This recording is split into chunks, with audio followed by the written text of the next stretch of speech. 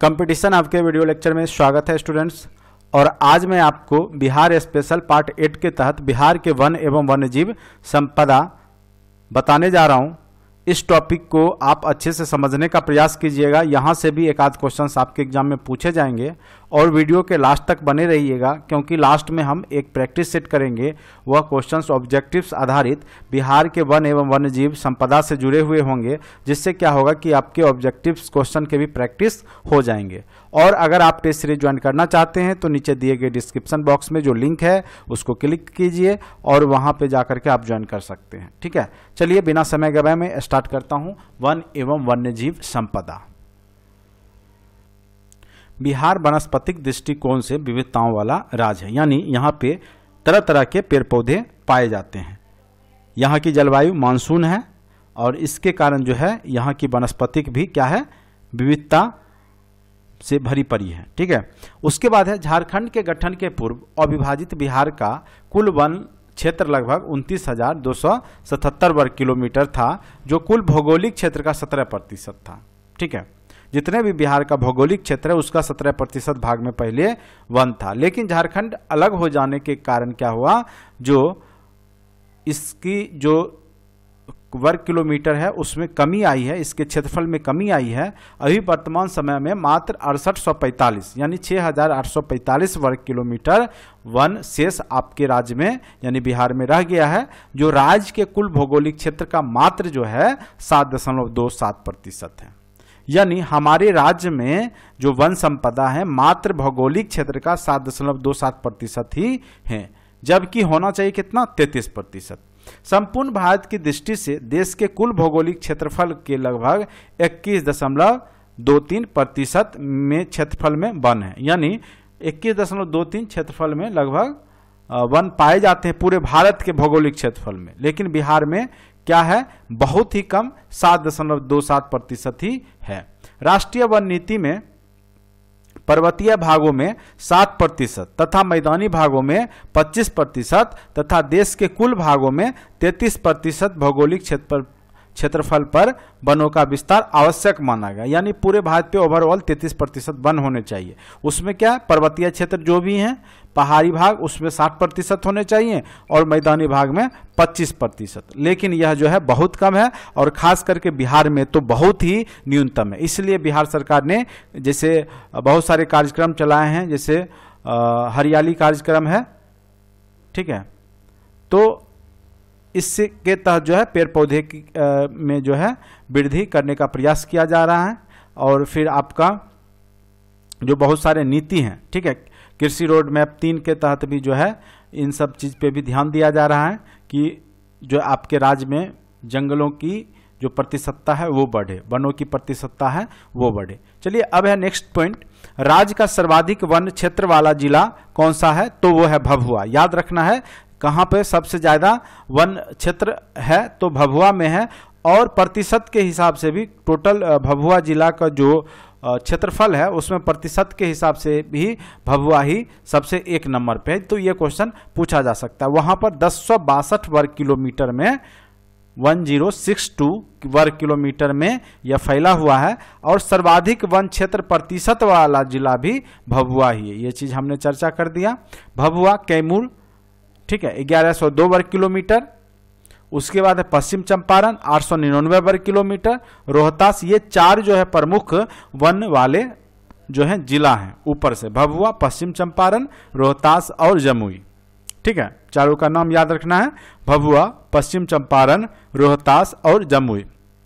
सर्वाधिक वन क्षेत्र प्रतिशत वाले प्रथम चार ज़िले, जिसमें वन की प्रतिशतता ज़्यादा है। तो भभुआ एक नंबर पे है, नवादा जो है आपका दो नंबर पर है, तीस नंबर तीसरे नंबर पर जमुई है और चौथे नंबर पर मुंगेर है। ठीक है तो ये क्वेश्चन पूछेगा तो आप थोड़ा सा ध्यान से बनाइएगा। ठीक है, उसके बाद है, वर्ष 2015 का एक रिपोर्ट है, स्टेट फॉरेस्ट रिपोर्ट, जिसके अनुसार राज्य का जो वनावरण है, वन का जो क्षेत्रफल है, वो तिरानवे वर्ग किलोमीटर बताया गया है, और बिहार में जो वन के प्रकार हैं, वो दो प्रकार के हैं। एक आर्द्र पर्णपाती वन एक है शुष्क पर्ण पर्णपाती वन एक जो है हिमालय के तराई वाले भाग में जो है आर्द्र पर्णपाती वन है और शुष्क जो है, जहाँ पे पानी, वर्षा कम होती है, उस क्षेत्र में शुष्क पर्णपाती वन है। अगर आप देखेंगे बिहार के मैप पे तो आपको उत्तर पश्चिम क्षेत्र या उत्तर पूर्वी भाग में नदी है और वर्षा के वर्षा भी ज़्यादा होता है 120 सेंटीमीटर से ज़्यादा वर्षा होती है।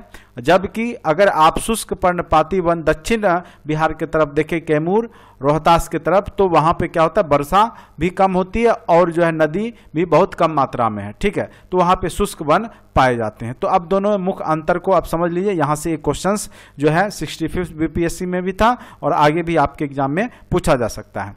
आदर पर्णपाती वन यह वनस्पति, विशेषकर किशनगंज ज़िले के उत्तर पूर्वी भाग, यानी हिमालय के तराई क्षेत्र के दलदली भाग में सोमेश्वर की पहाड़ी पर मिलती है। तो सोमेश्वर की पहाड़ी अगर आप देखें तो पश्चिम चंपारण के तरफ़ पड़ेगा, और उधर अगर आप किशनगंज जिला जाइए तो जहाँ पे सबसे ज़्यादा वर्षा बिहार के अंदर होती है, हिमालय से सटे हुए भाग हैं। इस क्षेत्र में वर्षा 120 सेंटीमीटर से अधिक होती है।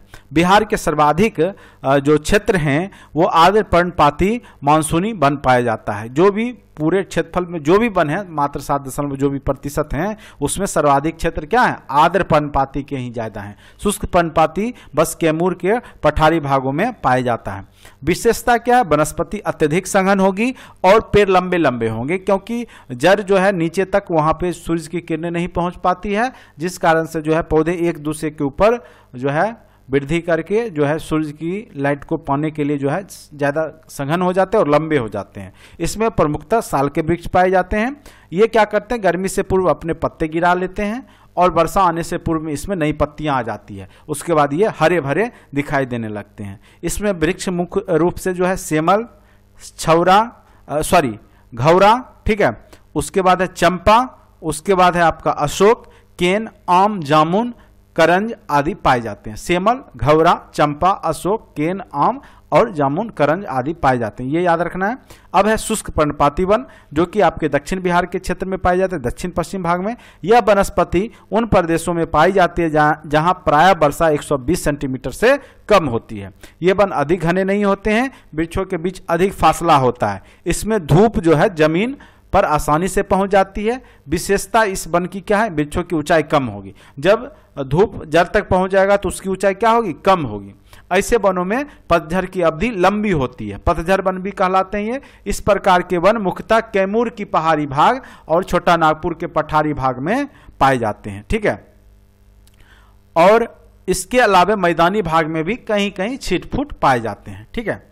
तो मेन रूप से आपको याद रखना है। दो प्रकार के वन आद्र पर्णपाती वन और शुष्क पर्णपाती वन। शुष्क जहाँ पे वर्षा कम होगा, जहाँ पे जो है नदी, पानी कम है और आद्र जहाँ पे जो है वर्षा ज़्यादा है 120 सेंटीमीटर से ज़्यादा, ठीक है, और हिमालय के तराई वाले भाग।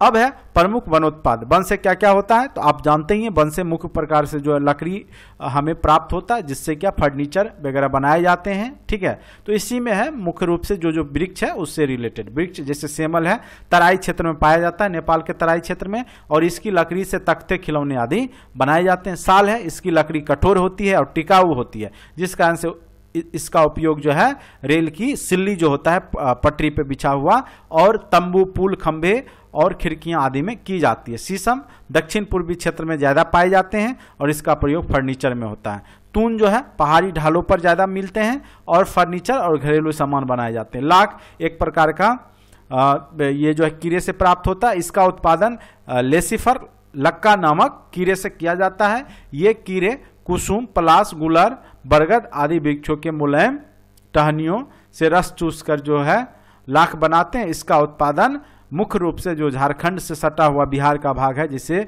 रोहतास कैमूर नवादा, उस क्षेत्र में झारखंड के सीमा पर यह होता है। ठीक है? उसके बाद तसर, एक प्रकार का यह कीड़े से प्राप्त होने वाला देखिए यहाँ पे क्या यह भागलपुर के वनों में पाए जाने वाले अर्जुन के पत्तों पर पलने वाले रेशम के कीड़ों से प्राप्त होती है, जिससे क्या होता है? वस्त्र निर्माण होता है। ठीक है? तसर से। तो ये थे आपके प्रमुख वनोत्पाद। अब हम टॉपिक चेंज करते हैं इसमें। अब हम वन्य जीव विहार के बारे में अध्ययन करेंगे। बिहार में कौन कौन से अभ्यारण्य हैं? बिहार में कितने राष्ट्रीय पार्क हैं? ये सब हम चर्चा करते हैं। देखिए, यहाँ पर जो मेन मेन जो तथ्य है, उसकी हम चर्चा करेंगे, जिससे कि हमारा ऑब्जेक्टिव क्वेश्चन आसानी से सॉल्व हो जाए। उन्नीस सौ बावन में भारत सरकार द्वारा वन्य जीवों को संरक्षण प्रदान करने के उद्देश्य से भारतीय वन्य जीव बोर्ड का स्थापना किया गया। तो कब किया गया है भारतीय वन्य जीव बोर्ड की स्थापना? तो उन्नीस सौ बावन ईस्वी में। वन्य प्राणियों के अवैध शिकारियों से संरक्षण प्रदान करने के लिए भारत सरकार ने Indian wild life protection act बनाया है, वो कब बना है? उन्नीस ईस्वी में 1972 में। इसलिए जो रेड जो जोन में आ चुके हैं, यानी जो विलुप्त होने के कगार पर जो जानवर हैं, उनकी सुरक्षा प्रदान किया जाए और जो जीव विविधता है, उसको बचाया जाए। ठीक है? उसके बाद है, वर्तमान में राज्यों में एक राष्ट्रीय उद्यान है। एकमात्र आपके बिहार में राष्ट्रीय उद्यान है, वो है वाल्मीकि नगर राष्ट्रीय उद्यान। ठीक है? और इसमें बारह वन्य जीव और जो है बिहार में बारह वन्य जीव अभ्यारण्य है। वाल्मीकि नगर राष्ट्रीय उद्यान कहाँ पर है, उसके बारे में अब चर्चा कर लेते हैं थोड़ा। यह पश्चिम चंपारण ज़िले में भारत के नेपाल सीमा पर स्थित है। भारत और नेपाल के सीमा पे स्थित है। इस राष्ट्रीय उद्यान को जो है, प्रोजेक्ट टाइगर के अंतर्गत उन्नीस सौ इक्यानवे में सम्मिलित किया गया था। ठीक है? कब किया गया था? तो उन्नीस में। और यह कितने क्षेत्रफल में फैला हुआ है? तो तीन वर्ग किलोमीटर क्षेत्र में फैला हुआ इस पॉइंट को भी आप नोट कर लेंगे। उसके बाद 2015 की गणना के अनुसार अब यहाँ पे बाघों की संख्या कितनी हो गई है? 28 पहले बहुत कम बाघ थे, आठ या नौ थे, लेकिन 2015 में गणना के अनुसार यहाँ पे 28 बाघों की संख्या है। ठीक है? अब वन्य जीव अभ्यारण्य। ये थे आपके राष्ट्रीय उद्यान। अब हम बात करेंगे प्रमुख वन्य जीव अभ्यारण्य का। गौतम बुद्ध वन्य जीव अभ्यारण्य। यह गया के निकट जो है, एक वर्ग किलोमीटर क्षेत्र में फैला है। इसकी स्थापना जो है उन्नीस सौ छिहत्तर में की गई थी। ठीक है? और इसके प्रमुख जीव जो हैं, चिता, सांभर, तेंदुआ हिरण चीतल इत्यादि हैं। तो ये याद रखना है आपको। उसके बाद है भीम बाँध अभ्यारण्य। ये पूछ सकता है कि गौतम बुद्ध वन्य जीव अभ्यारण्य कहाँ है? तो गोफर गौतम गोफर गया। याद रखना है। भीम बाँध अभ्यारण्य। ठीक है? तो छह वर्ग किलोमीटर के क्षेत्र में यह फैला हुआ, मुंगेर में यह फैला हुआ है। और इसकी भी स्थापना उन्नीस सौ छिहत्तर में ही हुई और जानवर, तेंदुआ, भालू, जंगली सुअर, सांभर, भेड़िया, लंगूर, बंदर, नीलगाय, मगरमच्छ, मोर, सांप इत्यादि हैं। ठीक है? अब है पक्षी विहार, जहाँ पे कि विदेशों से भी पक्षी आकर के निवास करते हैं। ठीक है? तो उसमें सबसे प्रथम स्थान पर है कांवर झील पक्षी अभ्यारण्य, जो कि बेगूसराय ज़िले में तिरसठ किलोमीटर के क्षेत्र में फैला हुआ है। और इस, इसमें जो है, ठंडे मौसम में, इस झील में, ठंडे मौसम में भिन्न भिन्न प्रजाति के पक्षी, जो साइबेरियन पक्षी, जो कि चीन, मंगोलिया, साइबेरिया, यूरोप के क्षेत्र से यहाँ पर आते हैं, अफ़गानिस्तान के क्षेत्र से आते हैं और पूरे ठंड भर यहाँ पे निवास करते हैं। कुशेश्वर पक्षी अभ्यारण्य जो है बिहार, यह कहाँ है? तो यह दरभंगा में कुशेश्वर स्थान एक जगह है। वहाँ पे उनतीस दशमलव दो तीन वर्ग किलोमीटर क्षेत्रफल में फैला हुआ है। उत्तर भारत का अगर देखें तो सबसे बड़ा पक्षी विहार कुशेश्वर पक्षी विहार ही है, जहाँ पे साइबेरियन पक्षी अक्टूबर माह में आने लगते हैं। ठीक है? अब है नकटी पक्षी विहार यह जमुई ज़िले में ज़िले में मात्र तीन दशमलव तीन वर्ग किलोमीटर के क्षेत्र में फैला है। और इसे उन्नीस सौ सतासी में पक्षी विहार के रूप में मान्यता मिली है नकटी पक्षी विहार को। अब है बक्सर पक्षी विहार। बक्सर ज़िले में 25 वर्ग किलोमीटर क्षेत्रफल में विकसित है। अक्टूबर माह में लालसर नामक पक्षी कश्मीर से यहाँ प्रवास करने आते हैं। तो कहाँ पे आते हैं? तो बक्सर पक्षी विहार कहाँ पे है? बक्सर जिला में और 25 वर्ग किलोमीटर का है। और यहाँ पे कौन सी पक्षी आती है? तो लालसर नामक पक्षी। ये याद रखना है। ठीक है? और फिर जो है मार्च में कश्मीर की वादियों में वो लौट जाती है। गोगाबिल पक्षी विहार, ये कटिहार जिला में दो एकड़ क्षेत्र में फैला हुआ है। उन्नीस सौ नब्बे में से पक्षी विहार के रूप में मान्यता मिली है। अब थोड़ा सा बात करेंगे डॉल्फिन अभ्यारण्य का। विक्रमशिला गंगा डॉल्फिन अभ्यारण्य, जो कि भागलपुर ज़िले में सुल्तानगंज से कहलगांव के बीच स्थित अभ्यारण्य है। यह भारत का पहला डॉल्फिन अभ्यारण्य है। 1990 में से डॉल्फिन अभ्यारण्य के नाम से मान्यता दी गई है और यह 50 किलोमीटर के क्षेत्रफल में फैला हुआ है। इसमें डॉल्फिन की संख्या लगभग 240 से 480 के बीच में है, ठीक है? जिसको हम जो है बिहारी भाषा में सोइस भी कहते हैं, ठीक है? उसके बाद है जैविक उद्यान। तो एक जैविक उद्यान मात्र है बिहार के पटना में स्थित संजय गांधी जैविक उद्यान। यह पटना में स्थित है। इस उद्यान ने, में विभिन्न प्रकार के पशु पक्षी एवं वनस्पति को संरक्षित रखा गया है। यह एक एकड़ क्षेत्रफल में फैला हुआ है। यह गेंडा प्रजनन के संदर्भ में देश का प्रथम स्थान रखता है और यहाँ पर एक ग्यारह कमरों का सांप घर भी है, जो इसकी प्रमुख विशेषता है। उसके बाद प्रमुख तथ्य और भी महत्वपूर्ण तथ्य हम देखते हैं, बिहार के भौगोलिक क्षेत्र, फल का हरित आवरण 9 प्रतिशत से बढ़ाकर 15 प्रतिशत करने के लक्ष्य के लिए हरियाली मिशन योजना प्रारंभ किया गया। है डॉल्फिन के प्रति जन जागृति फैलाने के उद्देश्य से 5 अक्टूबर 2013 को बिहार में डॉल्फिन संरक्षण योजना का शुभारंभ किया गया, यानी प्रत्येक वर्ष 5 अक्टूबर को डॉल्फिन दिवस के रूप में मनाया जाता है। 21 अगस्त को वृक्ष सुरक्षा दिवस के रूप में और 8 अगस्त को बिहार पृथ्वी दिवस के रूप में, ठीक है? 5 अक्टूबर 21 अगस्त, वृक्ष सुरक्षा दिवस 8 अगस्त, बिहार पृथ्वी दिवस। इस प्रकार से आपका थ्योरी सेक्शन कंप्लीट होता है और हम लोग जो है अब ऑब्जेक्टिव क्वेश्चन का सेट अब यहाँ से करेंगे, ठीक है? तो इस ऑब्जेक्टिव को जो है आप अच्छे से समझने का प्रयास कीजिएगा और प्रैक्टिस हो जाने के बाद आपके एग्ज़ाम में क्वेश्चंस नहीं छूटेगा। चलिए, अब आते हैं सबसे पहला क्वेश्चन पर ऑब्जेक्टिव क्वेश्चंस जो भी हैं, यहाँ पर इसको हम करते हैं, ठीक है? सबसे पहला है बिहार पृथ्वी दिवस। तो हमने अभी तुरंत पढ़ा आपका, पढ़ाया था कि बिहार पृथ्वी दिवस जो है 8 अगस्त को मनाया जाता है, ठीक है? बिहार के अंदर पृथ्वी दिवस जो है 8 अगस्त को तो एक का तीन। वृक्ष सुरक्षा दिवस कब मनाया जाता है? तो हमने वो देखा कि वो 21 अगस्त को मनाया जाता है। उसके बाद बिहार प्रवासी पक्षी डॉल्फिन दिवस हमको पता है पाँच अक्टूबर को। तो अब ये क्या हो गया? सी का क्या हो गया? एक। तो ये आपका ऑप्शन जो है, कौन सा दिख रहा है? तो वो आपका ऑप्शन नंबर बी। ए का तीन, बी का चार, सी का एक और डी का दो। ठीक है? तो ऑप्शन नंबर बी इसका सही जवाब है। तो यहाँ से क्वेश्चन पूछे जा सकते हैं। उसके बाद है नेक्स्ट क्वेश्चन है बिहार में वन क्षेत्र कितना है? ठीक है? बिहार में वन क्षेत्र कितना है? तो 6,845 वर्ग किलोमीटर पर वन क्षेत्र है। ठीक है? ऑप्शन नंबर ए इसका सही जवाब है। नेक्स्ट क्वेश्चन है बिहार के कुल भूभाग के कितने प्रतिशत पर वन फैला हुआ है? तो लगभग सात दशमलव दो यहाँ पे है ऑप्शन में तो हम इसी को क्लिक करेंगे, सात, सवा सात के आसपास जो है आपका वन है, ठीक है? उसके बाद है, बिहार में कौन राष्ट्रीय उद्यान बाघ परियोजना के अंतर्गत आता है? तो हमने आपको बताया, वाल्मीकि नगर जो उद्यान है, पश्चिम चंपारण में, उसमें 28 बाघ है। टाइगर प्रोजेक्ट के तहत यह आता है। गंगा नदी में पाए जाने वाले स्तनी वर्ग के प्राणी का नाम क्या है? तो वो है डॉल्फिन, ठीक है?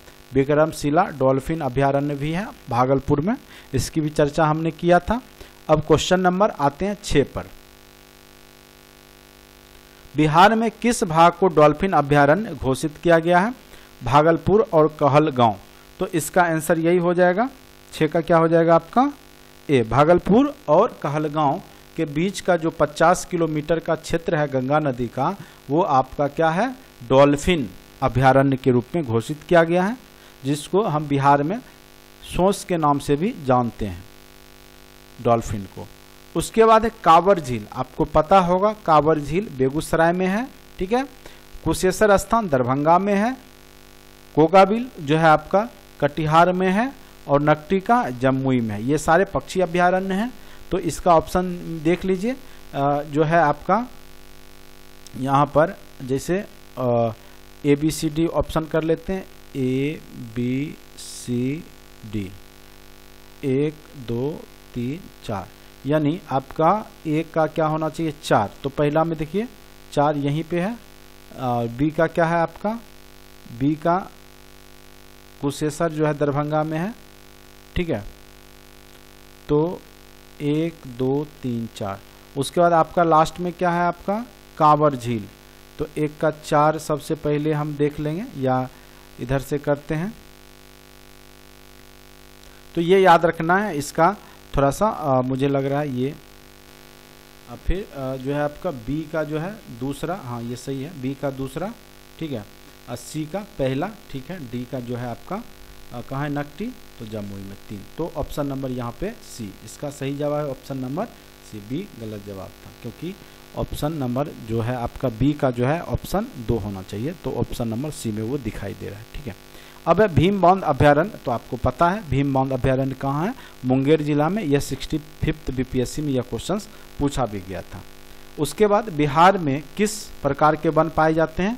इसमें एक क्वेश्चन पूछा था कि पश्चिम चंपा, ये पूछा था, आर्द्र जो पर्णपाती वन है, कहाँ पाए जाते हैं? तो जगह का नाम ऑप्शन में दे दिया था जिला। तो हम जानते हैं कि जो आपका सोमेश्वर की पहाड़ी है पश्चिम चंपारण के साइड ही था। तो ऑप्शन में एक पश्चिम चंपारण था जो उसका सही जवाब था, ठीक है? तो डीपली क्वेश्चन यहाँ पे कॉन्सेप्ट आधारित पूछे जा सकते हैं। बिहार में किस प्रकार के वन पाए जाते हैं? तो आद्र भी है और शुष्क भी है, यानी उपयुक्त दोनों। तो ऑप्शन नंबर सी इसका सही जवाब है। अब है बिहार में स्थित अभ्यारण्य, जैविक उद्यानों की स्थिति। जिला को सुमेलित कीजिए। चलिए ठीक है, सुमेलित करते हैं। अब क्वेश्चंस को आप लोगों ने पढ़ा है थ्योरी में। संजय गांधी जैविक उद्यान तो सभी को पता है ये कहाँ है? पटना में है। वाल्मीकि नगर अभ्यारण्य, सभी को पता है, चंपारण में है। कैमूर अभ्यारण्य जो है, इसको रहने देते हैं। गौतम बुद्ध जो है, अभ्यारण्य बोध गया गया में है। और राजगीर अभ्यारण्य सॉरी राजगीर अभ्यारण्य आपका गया में हो जाएगा। कैमूर अभ्यारण्य रोहतास में हो जाएगा। ठीक है? और राजगीर अभ्यारण्य जो है, ये हो जाएगा आपका एक में, ठीक है? इस प्रकार से आपका मिल गया। तो इसका एग्जैक्ट आंसर क्या हो जाएगा आपका? तो यहाँ पर देखिए तो ए का देखिए यहाँ पे पटना ए का यानी पाँच। तो दो ही ऑप्शन है बी का क्या है आपका तीन, और सी का क्या है आपका दो, ठीक है? डी का चार। और ई का एक तो ऑप्शन नंबर ए में ऐसा दिखाई दे रहा है। इसलिए इसका ऑप्शन नंबर ए इसका सही जवाब हो गया। ठीक है? अब है भीम बाँध अभ्यारण्य मुंगेर में किस तरह का वन प्रदेश है? ठीक है? तो यह जो है भीम बाँध अभ्यारण्य मुंगेर में है, वो आपका शुष्क, दक्षिण बिहार में जितने भी हैं, वो शुष्क ही है। ठीक है? तो शुष्क पतझर वन है। बिहार में सर्वाधिक वन वाला जिला हमने आपको बताया। अच्छा वन बिहार में सर्वाधिक वन क्षेत्रों वाला जिला।